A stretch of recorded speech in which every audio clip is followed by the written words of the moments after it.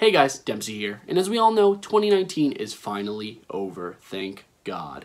But with a brand new year on the horizon, that means there are tons of new films to look forward to. Some that I'm especially excited for, and some that you guys might not even be aware are coming out. Regardless, today I wanted to share my most anticipated films of 2020 with you. So, what do you say we begin?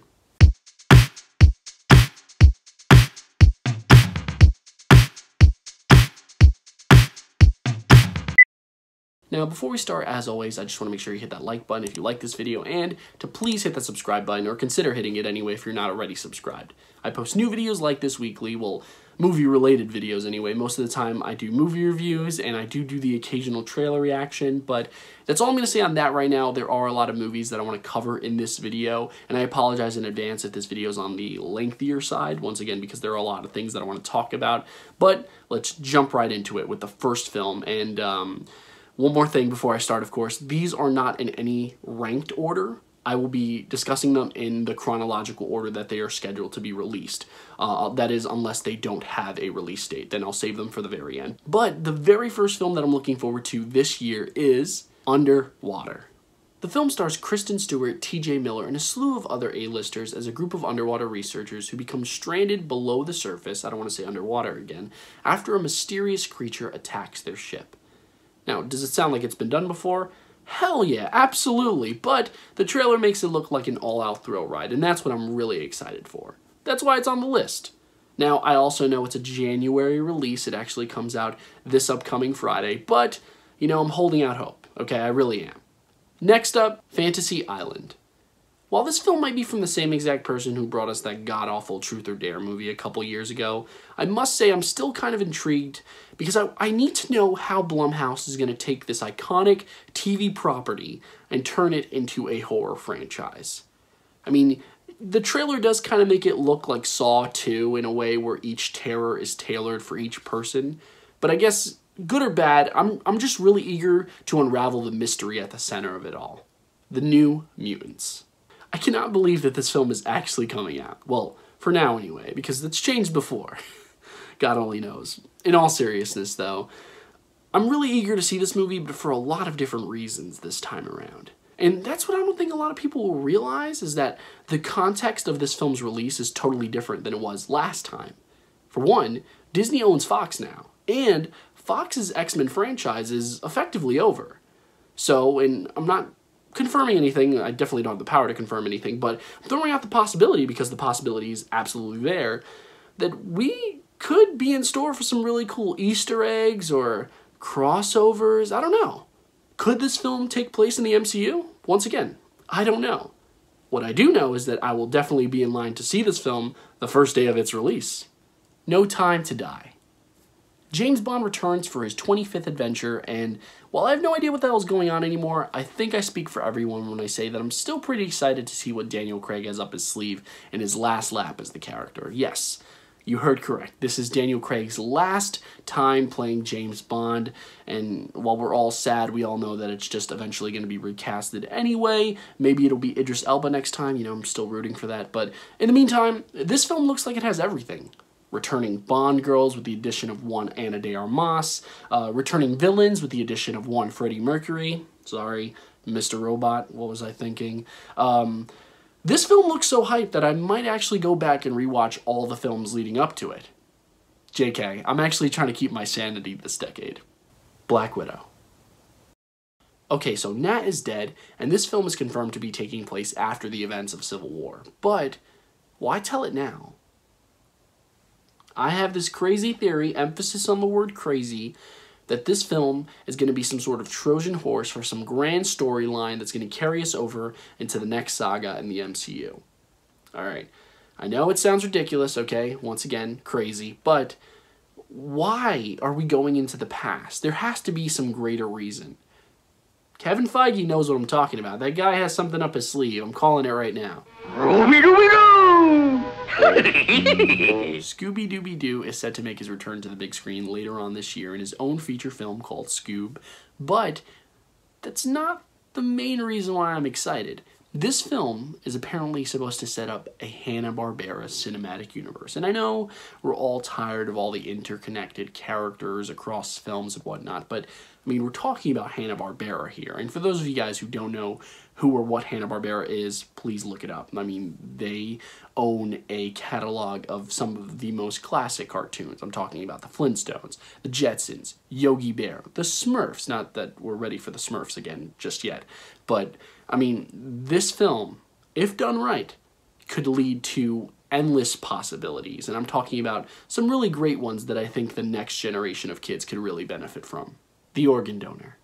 Sounds spooky, right? Well, it is a horror film, but judging by the title, you probably wouldn't be able to figure out that it's also a sequel in one of horror's biggest franchises. And that, of course, is Saw. Yes, this film is said to be the ninth installment in the Saw franchise, but before you roll your eyes and shrug your shoulders, let me just say that this film wouldn't even be possible if it wasn't for Chris Rock. Yeah, that Chris Rock. He actually pitched the story and even stars in the film alongside, of all people, Samuel L. Jackson. The surprises keep on coming, right?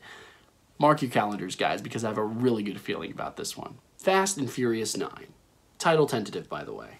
No one knows what Dom Toretto and gang could possibly do next, or where they could even go next, except for maybe outer space. But one thing is for certain, whenever a new entry in this billion dollar franchise drops, it's an event. And with Cardi B and John Cena joining the cast, and Ryan Reynolds and Kevin Hart now a part of the cinematic universe after Hobbs and Shaw, sorry if you haven't seen the movie, spoiler alert, late spoiler alert, um, who knows what the hell we're going to see? Literally, anything can happen. I mean, like I, like I said before, we don't even have a title to the movie yet. This movie's just one giant surprise waiting to be dropped on our lap. What do you guys think the movie will be called, by the way? If you have any ideas, let me know in the comment section down below. In the Heights. Before Hamilton, there was In the Heights. Lin-Manuel Miranda's love letter to both Latinos and New York City.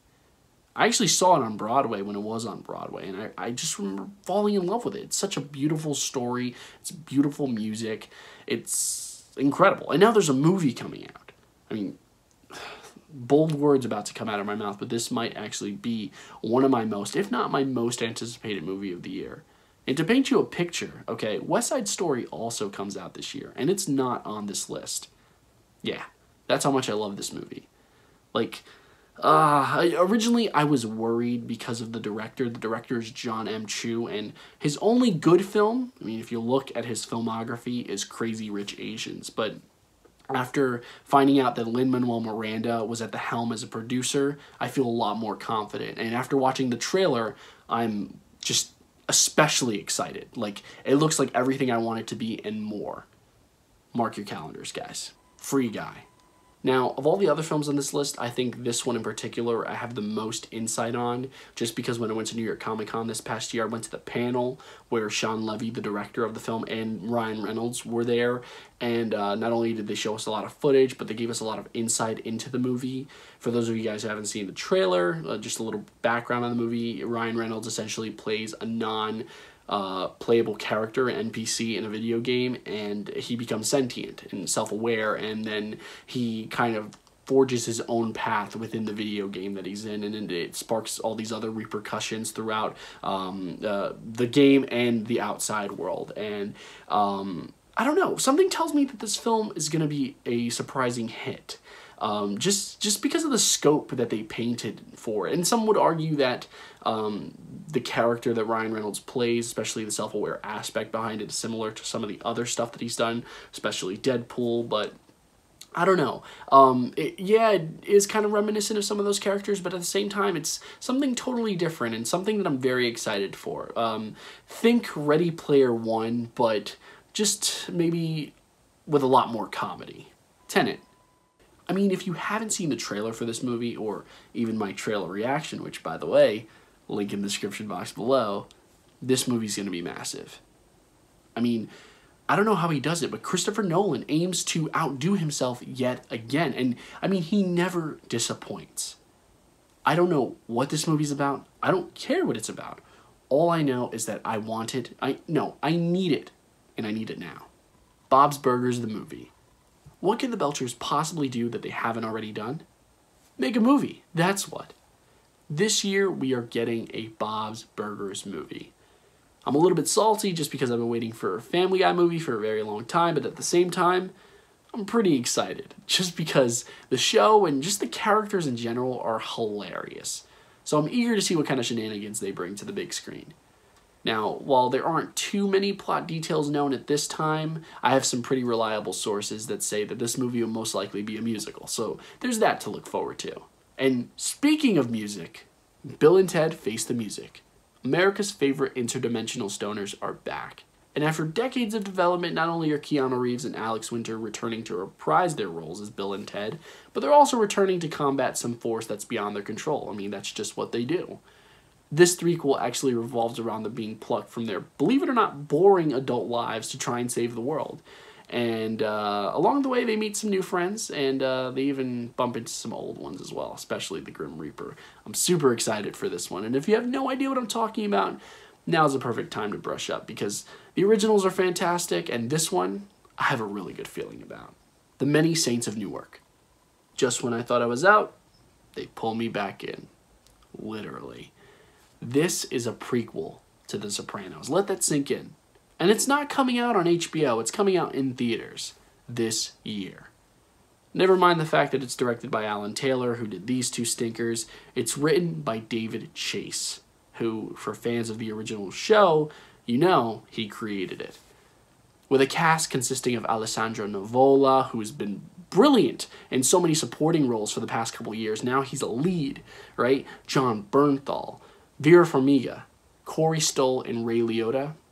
I mean, you have to be excited. I'm especially eager to see how things were before Tony Soprano. Oh man, I can't wait. Last Night in Soho. Edgar Wright has been out of the limelight for the past couple years, but this year he's back with Last Night in Soho, which is set to be his first horror film since Shaun of the Dead, and his first seemingly dark film or film with a darker tone. Plot details are said to contain some time travel elements, and the film stars Anya Taylor-Joy and Jojo Rabbit breakout Thomasin McKenzie. It all sounds very out there, but if there's one director I can trust with out there, it's Edgar Wright. I'm very eager to see what he's cooked up this time around. The Trial of the Chicago Seven.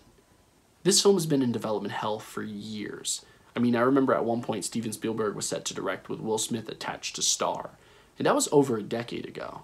Not trying to date myself though, okay? Um, this incredible true story follows seven different men from seven very different backgrounds who are charged with inciting a riot and a historic trial and effort to exonerate them that took place afterwards. And I mean, there are a lot of things that got me excited about this film. I mean, like I said, I've been following it for years, but for one thing, Aaron Sorkin is behind the camera. And I mean, I loved Molly's game. I trust the guy implicitly with telling the story. We all know that he's a magnificent writer. But in addition to him being a part of the project, we also have the incredible cast. Sacha Baron Cohen is starring, Joseph Gordon-Levitt, Yahya Abdul-Mateen II. I mean, come on, anybody see Watchmen lately? If you want to see the rest of the cast, I highly recommend you either wait or check out the Wikipedia page, but either way, this film has Oscars written all over it. The Eternals yes, we're getting New Mutants and Black Widow this year, but honestly, I think that the Marvel film that people are going to be talking about the most at the end of 2020 is The Eternals. And the only reason I honestly say that is because it's the one that we know the least about. Obviously, no trailer. We do know the cast, like Kit Harington, Gemma Chan, um, Angelina Jolie, but we don't know anything about the plot. We don't know who the bad guy is. The only thing that we really know is that it takes place in the distant galaxy. So, I mean, technically, you could say that the possibilities are eternal. Godzilla versus Kong. This is the only movie on this list that I'm equally excited and nervous for, just because I really enjoyed the most recent Godzilla movies, but I also really hated that one Kong one that they did. Like, I, I feel like this film does have the potential to be bad, but I'm hoping at the same time that the producers know what's at stake and are doing everything in their power to ensure that this film is more than financially successful. I mean, I think that if done right, this film could establish the Monsterverse as the next great cinematic universe. That is, unless, you know, the Hanna-Barbera one does really well. And I'm pulling for that one, too. You already know that. Escape Room 2. This might come as a surprise, but I actually enjoyed the first film a lot, even though the ending sucked.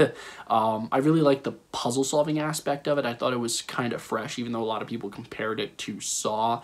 Um, personally, I'm just a huge fan of escape rooms. I like that kind of critical thinking aspect. And it actually had you kind of thinking along with the characters. I think that's what I really am trying to say that I liked about it. Uh, I hope that this next film expands upon the mythology of the company behind it.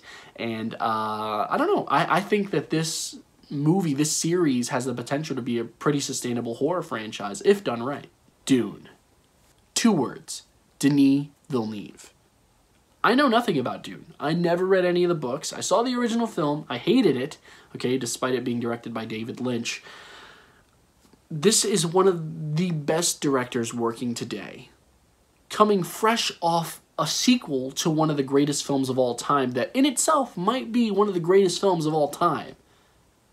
I mean, you don't even have to tell me who's in the cast, even though we know it's Timothy Chalamet, Josh Brolin, Zendaya. I mean, should I even go on? I pledge my allegiance to this film. Army of the Dead. Zack Snyder's next project is set to hit Netflix later on this year, but while we don't know too much about it, we do know two things for sure. One, it's a heist film involving zombies, and two, it features an ensemble cast led by Dave Bautista. I, for one, am excited just because before DC, before Watchmen, before all the comic book adaptations, Zack Snyder gave the world Dawn of the Dead, the remake. That was his very first film. So, in a sense, he's kind of returning to his roots here with this one. And if this film is even a shred as good as Dawn of the Dead, then I think we're all in for a treat. Blonde, also slated for Netflix later on this year is Blonde, which is a fictionalized account of Marilyn Monroe's life, directed by Andrew Dominik. Now, if you haven't heard of him, he directed this really great movie a couple years back called The Assassination of Jesse Jackson by the coward Robert Ford. Highly recommended if you've never seen it. Really good movie. Um, but the thing that actually attracted me to this film is not the director, not the plot synopsis, but the star. The person who they actually got to play Marilyn Monroe is Ana de Armas, who is from Knives Out. She's going to be in the new James Bond movie, as I mentioned earlier on in this video. Until I saw her with the blonde hair, I could not picture as Marilyn Monroe. But if you see the set photos, and I, I think I'll, I'll attach some of them right here so you can check them out, the resemblance is uncanny. But other than that, I don't really know too much about the film, and with Dominik's involvement, I have a feeling that Netflix is going to hold off on releasing the film until award season, but nevertheless, I think you should keep it on your radar. Now, finally, the last film on my list of most anticipated films of 2020. We are here, and I'm sorry it probably took so long, I probably lost so many of you guys. Hopefully not, but the last film that I'm looking forward to in 2020 is a film called The Sound of Metal. And believe it or not, this film was almost not on this list. The only reason that I actually decided to include it was because I, I was looking and I really couldn't find if it was released theatrically anywhere. All I know is that Amazon has the rights, and it was released at TIFF last year to rave reviews. And essentially, the film follows Riz Ahmed. Um, love Riz Ahmed, one of my favorite actors working today. He plays a drummer in a heavy metal band that starts to lose his hearing. So immediately when I heard Riz Ahmed was on it, I was totally on board. But when I heard the plot, I was like, sounds incredible. So yeah, uh, as far as I can tell, hasn't been released theatrically. I could be wrong, but if any of you guys know something that I don't know, maybe I missed, let me know in the comment section down below. The bottom line is that I just really want to see this movie. But yeah, these were my most anticipated films of 2020. That is my list. If there are some films that I made you aware of that you weren't aware of before, or if there are some films that you were surprised that didn't make my list that you thought I, I would be excited for, or even if there are films that you're excited for that you think I should be excited for that I have no idea about. Let me know all that good stuff in the comments section down below. Um, once again, if you like this video, please make sure you hit that like button and also make sure you're subscribed if you're not already subscribed. And uh, yeah, once again, or as always, you know, thank you so much for taking the time out of your day to view this video, especially this video. I know it was on the lengthier side, and I appreciate everybody who stood by and made it this far. Um, really means the world. Um, I love sharing my thoughts. I love talking movies with any and all of you guys that are willing to listen.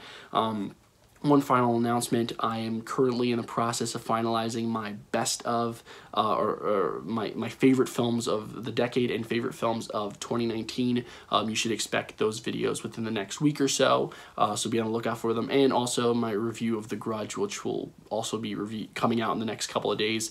Uh, so make sure you stay tuned. Uh, but yeah, that's it. I won't take up any more of your time. Until next time, I'm Dempsey Pillot. Take care.